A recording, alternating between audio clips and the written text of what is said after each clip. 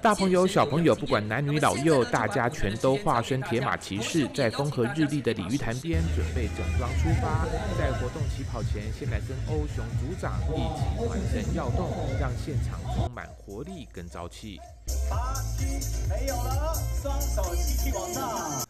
哨声响起，全员踩下踏板，大家悠闲的前进。这一场铁马活动是为了要响应六月三号世界自行车日而举办。交通部观光署在六月一号这一天串联了全台四十六条的自行车环岛路线，大力的推广低碳旅游，更希望能够带动花莲的观光。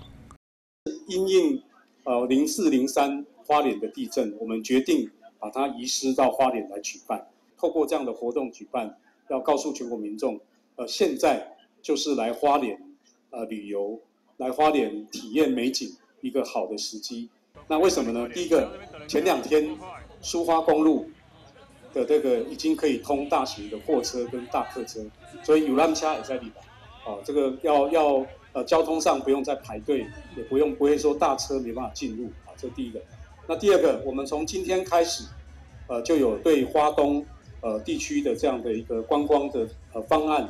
的一个刺激的这个补助的方案，包括来自花莲住宿，六好从六月一号开始，好花莲住宿平日可以补助一千元，假日可以补助五百元，好，那么另外包括呃我们团客每团可以补助两万。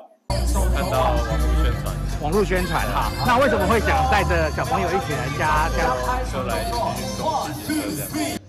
地震重创了花莲观光，交通部观光署除了将活动主场移师到花莲，也寄出了大量的振兴补助，全力的推广花莲观光，振兴灾后经济，并且透过自行车日的活动，让民众能够放慢心情跟脚步，发掘探索台湾之美。人间卫视我们桥在花莲的采访报道。